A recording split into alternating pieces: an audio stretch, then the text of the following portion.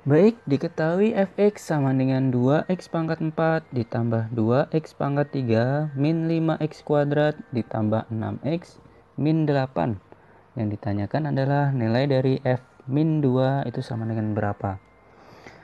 Baik, jadi untuk mencari nilai dari f min 2 berarti kita akan mensubstitusikan nilai x diganti dengan negatif 2 sehingga akan sama dengan 2 dikali dengan minus 2 dipangkatkan dengan 4 ditambah dengan 2 dikali dengan minus 2 dipangkatkan dengan 3 kemudian min 5 dikali dengan minus 2 dipangkatkan dengan 2 kemudian ditambah dengan 6 dikali dengan minus 2 kemudian dikurang dengan 8 Oke, ini hasilnya berarti akan sama dengan 2 dikali 2 pangkat 4 itu 16 ditambah dengan 2 dikali dengan minus 8 minus 5 dikalikan dengan 4 ini minus 12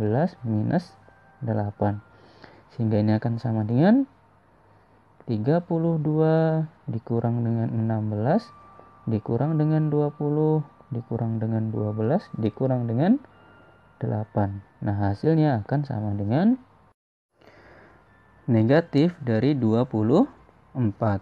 Sehingga kesimpulannya adalah nilai dari F min 2 itu sama dengan minus 24.